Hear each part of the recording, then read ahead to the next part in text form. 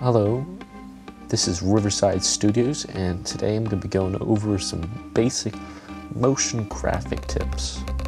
So, the first one is this pop effect you'll see here, and uh, this simply is between a 0 and 100% scale, and you simply go like one frame before the 100%, and you put in a value like 110%, and then you get this interesting pop effect like here. The second tip is colorlovers.com. The link is in the description. It's a site where you can find color palettes. And what's nice about this is it gives you the hex values, which you can copy and then paste into your program. Also, if you think that feels like you're cheating, you can also search by color and then you can see a whole bunch of different hues and what you can use. And then use those hues to create a palette and then um, just find a whole bunch of different colors that you want to use together and save it for later projects. My third tip is to use cgtextures.com. The link is also in the description. It gives you a lot of royalty-free um, images that you can use within your motion graphics. And um, you can just download them. And like right here, I can just throw this onto this motion graphic and uh, put on top, scale it up, and then adjust the opacity.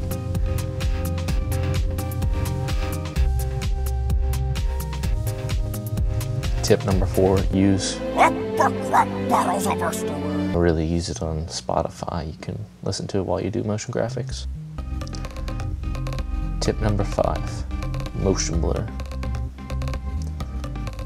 So um, Motion blur is pretty important. Um, this enables motion blur for the entire project, and then you need to add it for each individual layer.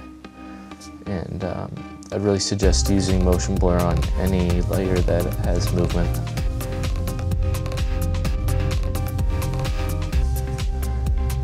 Tip number six, easy ease. Um, right now this is a linear movement. Um, However, if you add easy ease to it by just simply right clicking and then going to easy ease, um, this will add a slow down in the beginning and a slow down at the end. Tip number seven, Helvetica Neue font and white line things.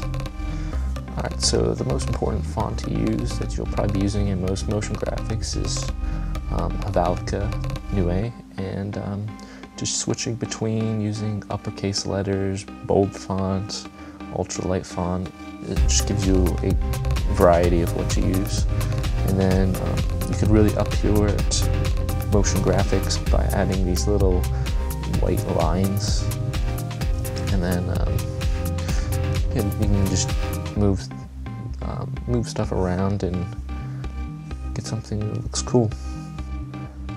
Number eight words coming out of stuff. So here's my Riverside Studios logo, and you can see it's coming out of this white bar there on the right.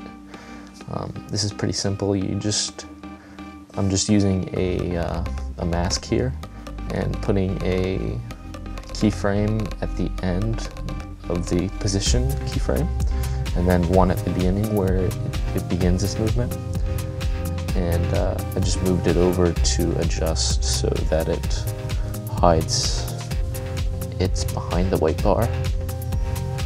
And uh, one thing to make sure is if you're using Easy Ease, you add it to both the motion path and the position keyframes. And you can use the same concept for having a object swipe over some text to reveal it, which is a cool effect.